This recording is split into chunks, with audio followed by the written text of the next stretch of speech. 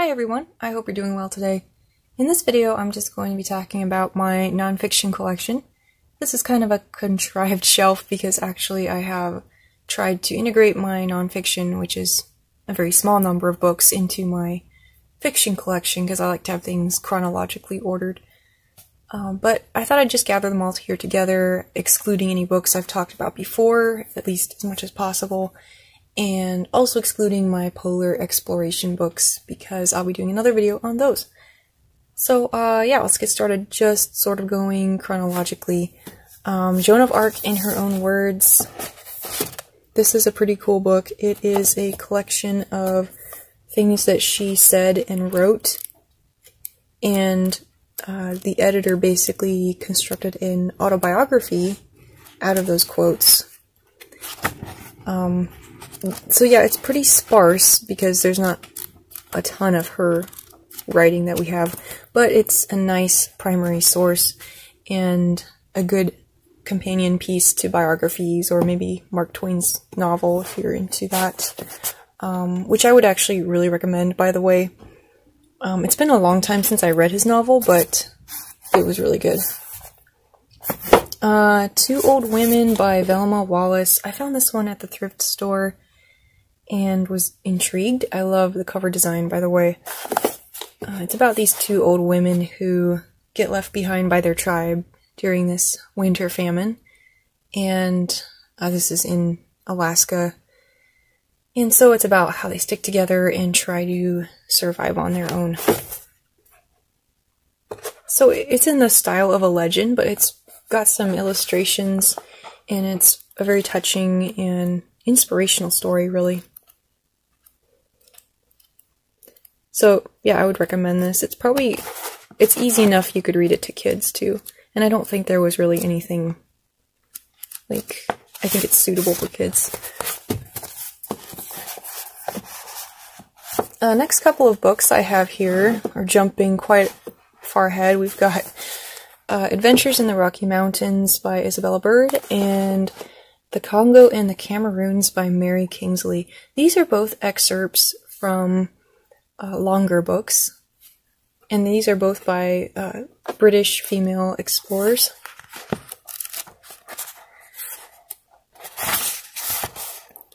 Mary Kingsley was quite a gutsy lady. Uh, fun fact about her, she actually met Mary Slessor at one point. Uh, Mary Slessor being a Scottish missionary. Uh, I enjoyed the book. It's definitely dated, so just keep that in mind. Uh, but it's it's very interesting if you want some insight on what it was like to travel back then, and especially as a single woman. Uh, Isabella Bird, kind of the same story, although I liked Isabella Bird a lot more, and I would actually want to read the entire book that this came from someday, because she's she writes very, very entertainingly. And then kind of sticking with the uh, the pioneer Wild West theme. We've got this book is pretty obscure. I found this at the thrift store as well. This is P.L.'s Polish Pioneers, written by one of the descendants of those immigrants. And I've just been trying to read more local history.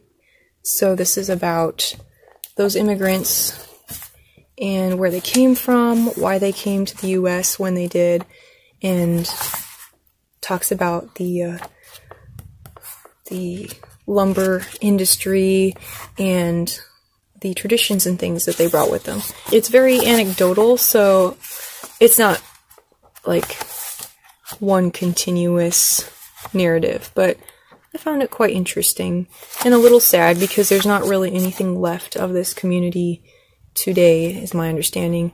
I think the last thing remaining was a church, which has been I believe, since pulled down. So, uh, yeah, interesting, a little sad, uh, but really illuminates to you what the immigrant experience was like uh, with all of its nuances. David Grann's The Lost City of Z. So both my parents read this and loved it, and we watched the movie together. I started to read it I do want to finish reading it at some point.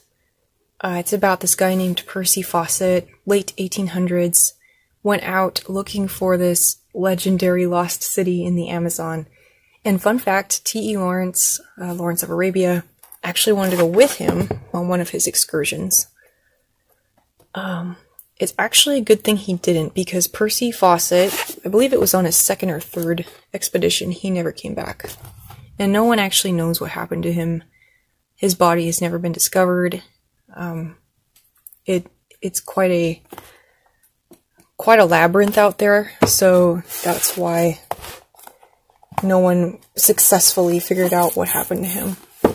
So this book is kind of about that. It's about him. It's about his relationship with his son, who I believe also went with him, and it's also about just that whole fascination people had back then with this idea of lost cities and treasures and things.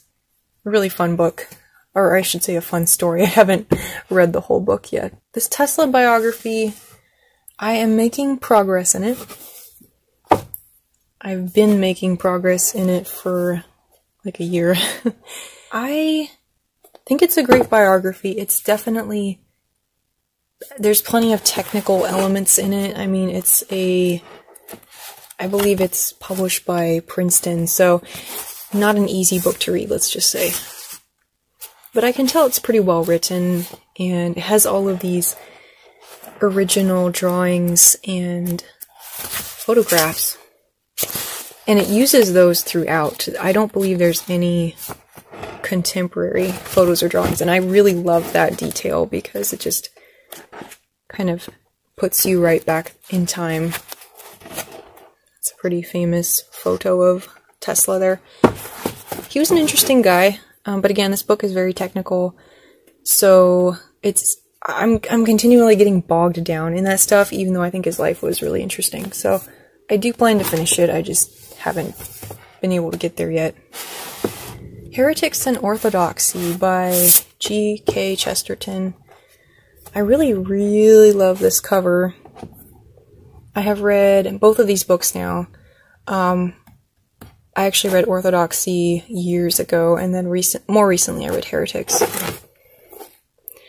Uh, Heretics is actually, it's not what you would think. It's more about um, Chesterton's contemporaries and talking about their philosophies and things.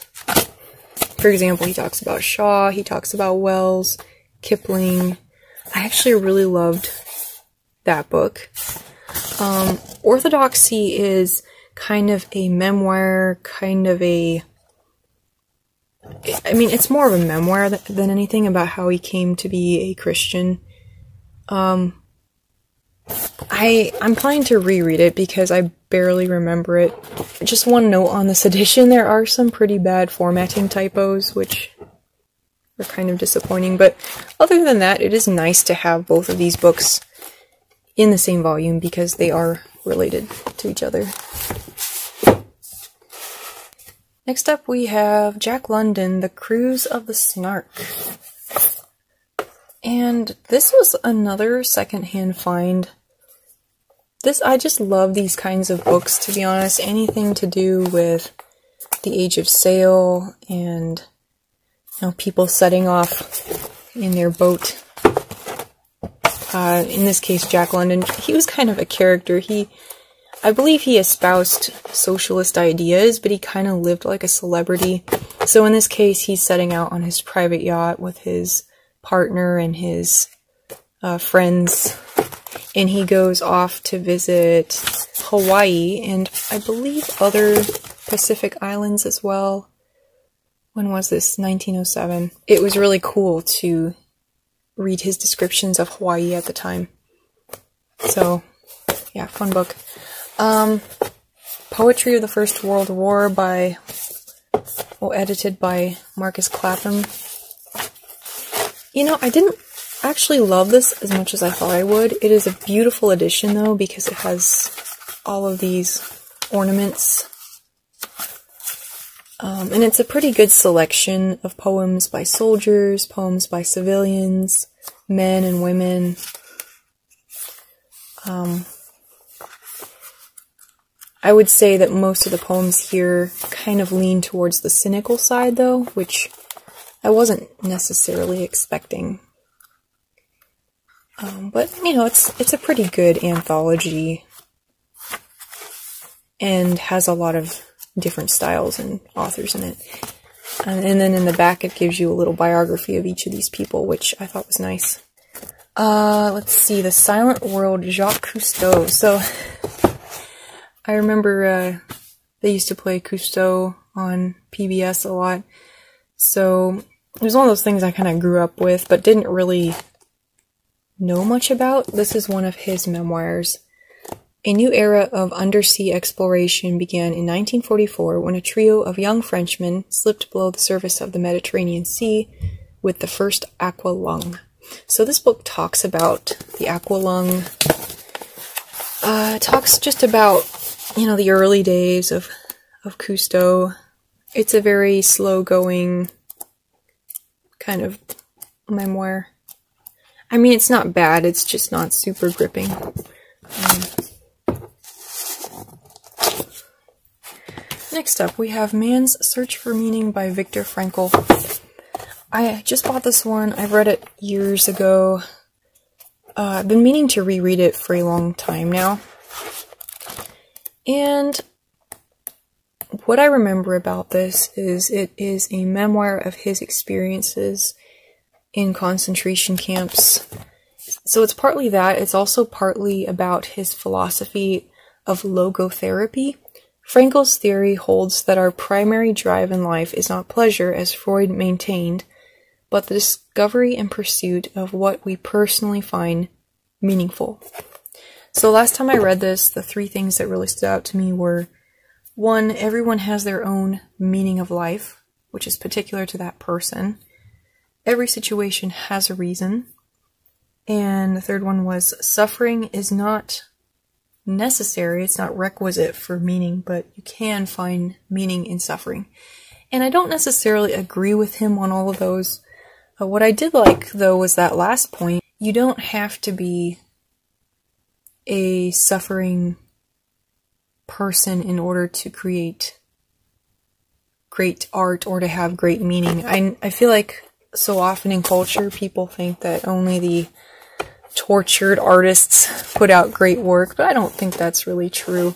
Everybody does have their own struggles, which uh, influence their art, but I don't know that that's necessary to create great art. But that's kind of a whole nother topic. Let's see. So now we're really moving into the mid 1900s. We've got Evita here. Evita, the life, the real life of Eva Peron. What can I say? This was a kind of a sad biography in that there's like barely any notes. I mean, there's some, but it's not like there's not really that many notes. But it's the, or it was when I read this, which has been probably five, six years now. At the time, it was the best one that was out there according to all the reviews, and it is supposed to be the most balanced biography of her. Uh, not, not like being too unkind or too sensational. Um, but it is a very sensational story uh, about Eva Duarte, who becomes the mistress of Peron, Juan Peron, and then basically the whole political social movement that she was part of as his wife and really a cultural icon for Argentina during that time.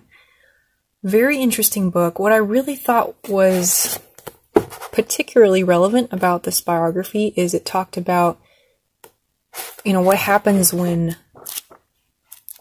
one person or even two people have control over your media.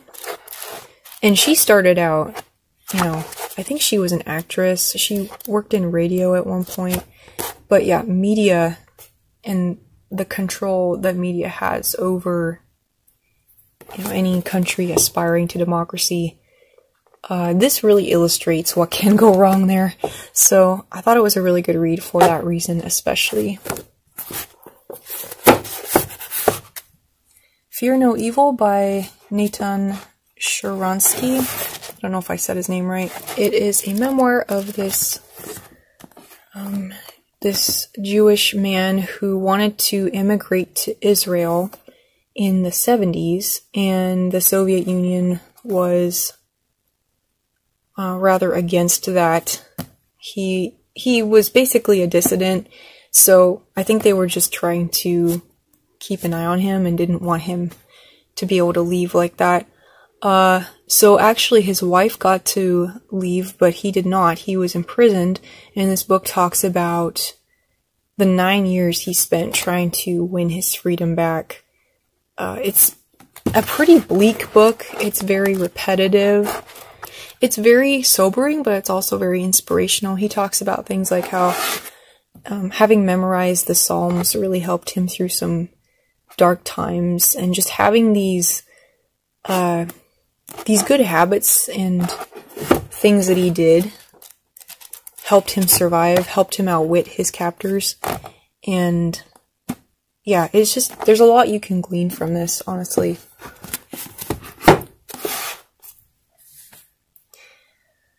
So, also on the subject of Soviet or anti-Soviet writing, we've got Open Letters by Havel. This guy wrote an essay that I read years ago called The Power of the Powerless. When you're living in a society when, where everyone is kind of falling into line and you're being asked to do things like put up signs in your shop window that you don't agree with, but you know, you have a choice. You can either put it up in your shop window and just go along with it, or you can uh, refuse to display the communist slogan and lose your business or whatever. And so he talks about these very practical ways that dissent takes place, but he also speaks against this notion of dissent because he feels like it alienates those people from the greater social body. And the idea behind the power of the powerless is that the the the masses, we all have the power to bring an end to that kind of totalitarianism if each of us does our part. Even as something as simple as not displaying that sign in our window. Um, it's, I mean, he writes about it much better than I just explained, but I really enjoyed that essay. So this book is um, about some of his other writings. I didn't mention it, but he, he's from Czechoslovakia. Um, I really like his other writings as well. I haven't got that far yet, but um, you have to kind of read it slowly though. He writes very well, but it's it's something you have to think through as you're reading it. So definitely recommend The Power of the Powerless. I believe it's free online. And uh, so far, I'm really appreciating these other things he wrote as well. Okay, so uh, next book here is part of that same um, Penguin Great Journey series, which I found at the thrift store. Uh, again, excerpts from lo longer works. So this one is from a book called The Shadow of the Sun by this Polish journalist.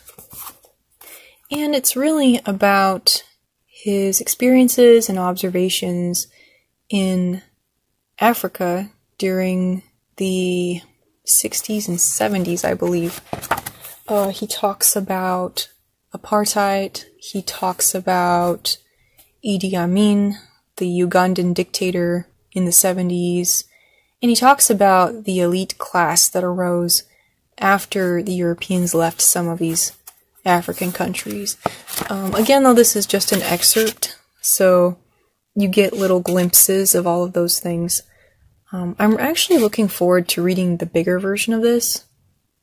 I just find his writing style very approachable, very interesting.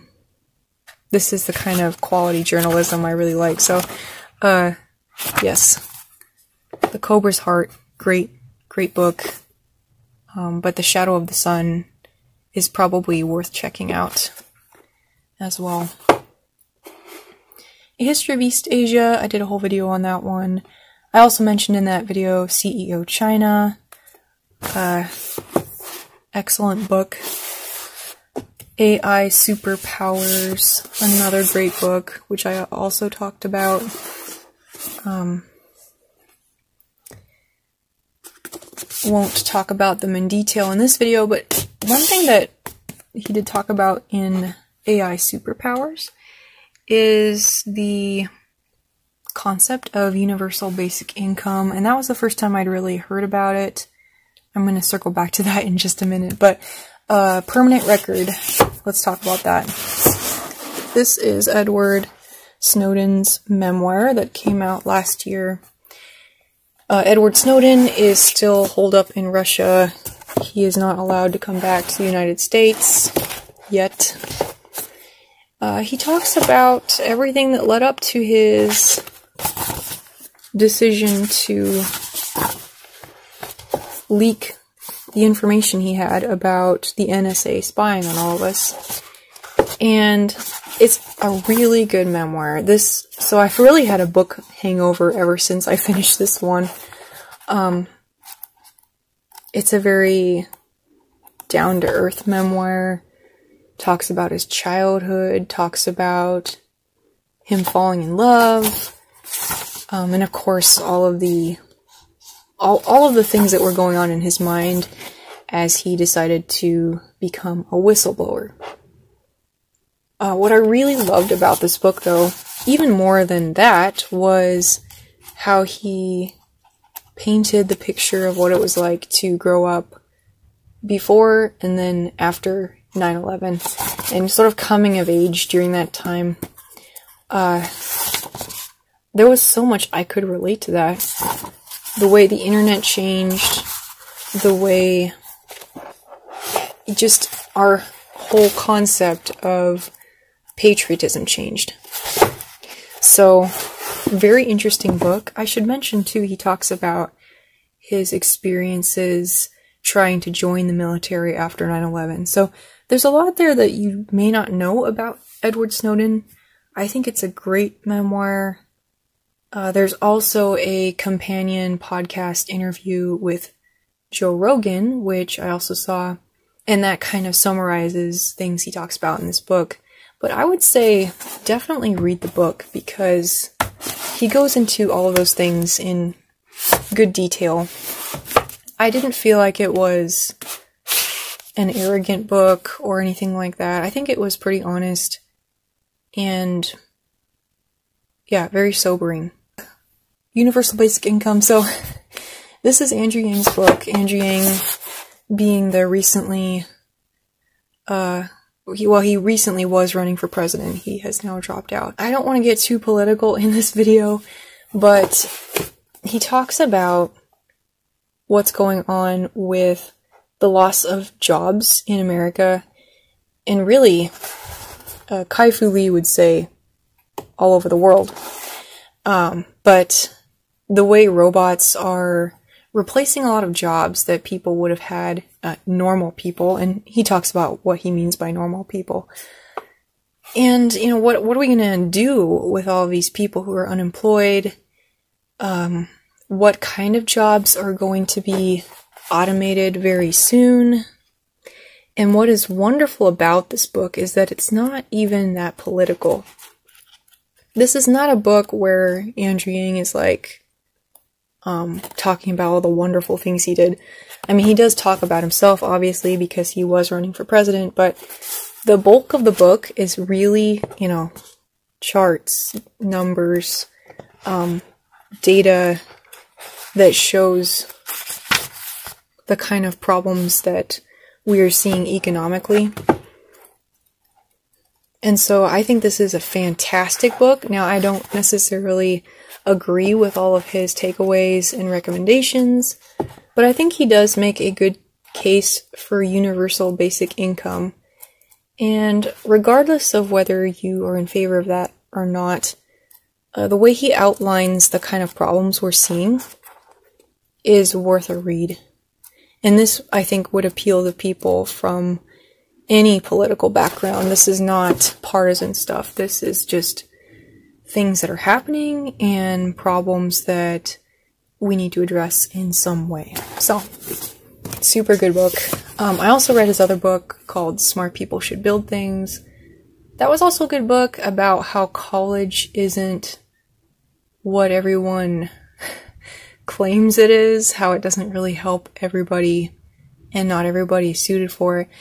But this is a better book because it's less about, you know, the specific case of college students and this is more about just anybody who is trying to care for themselves and their families. So that's all I have for nonfiction at this time. Um, I have read more nonfiction, it's just that I don't necessarily own all of those books. Uh, please like the video if you enjoyed it, and let me know if you have any recommendations or questions. Thanks for watching, and I'll see you next time.